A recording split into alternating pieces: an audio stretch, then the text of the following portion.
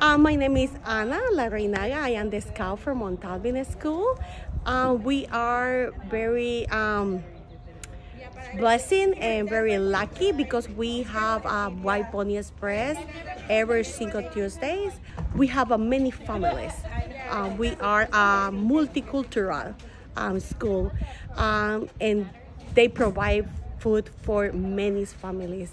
I remember this um, email when he sent me the, the message. Uh, my heart is so happy and I ran to the office with my old principal, Miss Acosta Probascos, and I say, Miss Acosta, we got a White Pony Express for food for the families. And um, we start like, like crying because we waiting for many months.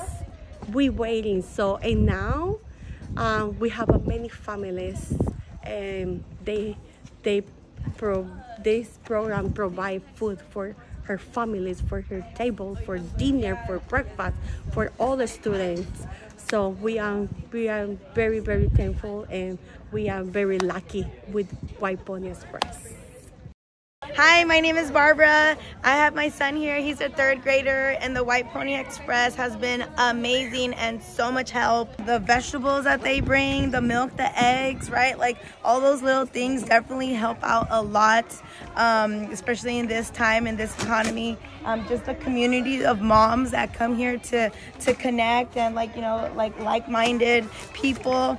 Um, for the kids, they bring a lot of vegetables and um, today they brought like baby like yogurts. I was like, oh my god, this is great, right? Especially now that she's turning um, almost two and eating, so she's all about like finger foods, right?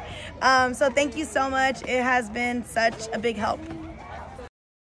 Right now we are in Montalvin Manor, uh, eating good food. The food that we get, it's good. We get variety. We get uh, veggies. We get meat uh, desserts, and a lot of times food there is prepared. And, in my case, the food is prepared is good because uh, we like uh, quinoa, we like uh, all the, the weird food, and most of the time it's, it's like food that we would normally would not buy in the store because it's so expensive. And it's helping me a lot, especially because um, I'm, I'm unemployed for since March. And um, even though um, my grandkids are the ones that go to school here, but they stay with me, a lot of times we just buy the necessities, you know, the bare necessities like the eggs, the potatoes, um, the tomatoes. And but coming here, it's it's a blessing.